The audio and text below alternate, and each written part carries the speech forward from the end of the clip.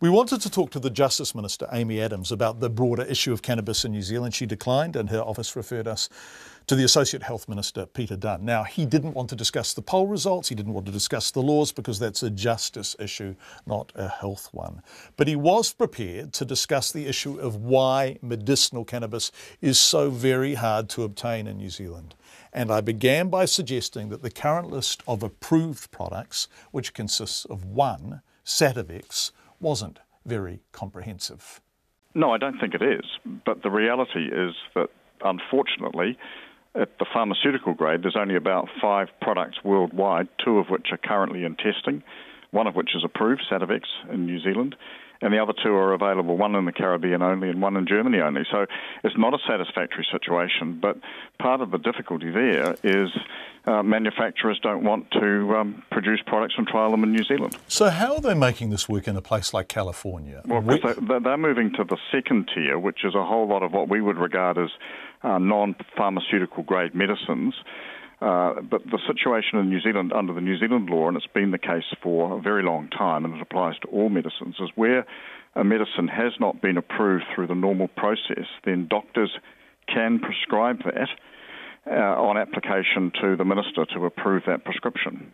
But doesn't that put the ball in the doctor's court? In other oh, words, oh yes, it does. so it they does, have to sorry. go to the ministry and provide ev- ev- evidence of efficacy, of the scientific basis for the likely success of the drug. This is an enormous amount of work for the doctor No, to do. not, wouldn't it? Wouldn't it be better for the ministry simply to extend the list of approved products? No, look, if you were ta- just just put cannabis to one side for a moment.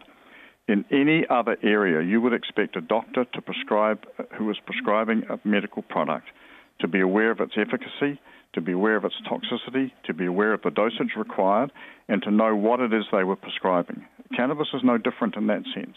All medicines that are registered under the Medicines Act have to go through a clinical trial process.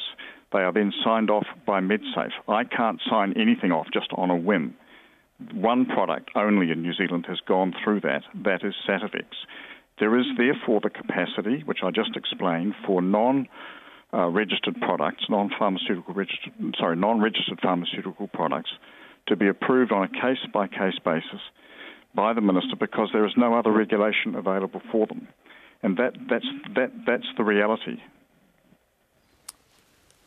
Minister, you gave a great speech. It was acclaimed in New York. And it was widely quoted and tweeted, and everyone said, Well done, Peter Dunne. And you talked about the need to be bold. And I just wonder where your boldness is. Well, my, my boldness is that I am seeking solutions. But, John, I'm not a pharmaceutical manufacturer. I can't manufacture products. I can't suddenly decide that this product is safe and therefore we'll make it available in New Zealand in a way that we would do for no other medicine.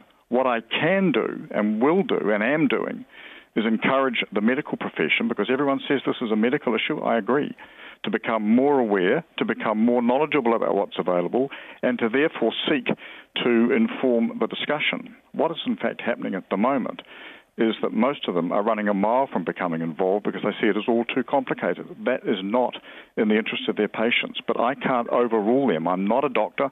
I don't seek to be a doctor. And people keep telling me this is a medical, not a political issue. I agree entirely. Okay. What needs to happen, Minister, so that we don't have people who are terminally ill self-medicating? Why well, I think we? two things. I think two things need to happen. Uh, firstly, I think the clinical trial processes that I referred to earlier need to be completed. Uh, there are prospects of some trials getting underway in Australia at the end of this year, but they're probably 18 months to two years from completion. There is one application, I'm just not familiar with the detail, for a trial being considered in New Zealand at the moment, but beyond that, nothing. So that's the first step that we need to make progress on. The second step is, I think, for the medical profession uh, to become much more actively involved in the advice that it's able to offer patients uh, so that patients aren't put in a difficult position of literally having to go searching on the net for something that they think might suit their needs and then go to their doctor and say, look, I've discovered this product from wherever. Okay, can and I pick you up- put in a very difficult position. I think they can- need to upskill themselves rapidly. Okay, so if they do upskill themselves, what are they able to do? So I go to my GP, if- if- I am if- terminally ill, or my oncologist. What is my oncologist able to do to provide me with medicinal cannabis for pain relief? Well, the first thing the oncologist will have to do is to decide whether or not that's an appropriate treatment. And if they do, then what form and what product, and then how it can be sourced. That's not my job to, to determine that. My and how long might that process take, typically? Well, that, look, I can't tell you how long it would take a doctor to decide what a patient's condition is and what they need to have. and get the appropriate approvals. But we're Well, talking all months. I can say with regard to the approvals is that the two cases that have come my way have been approved within the hour of arriving on my desk.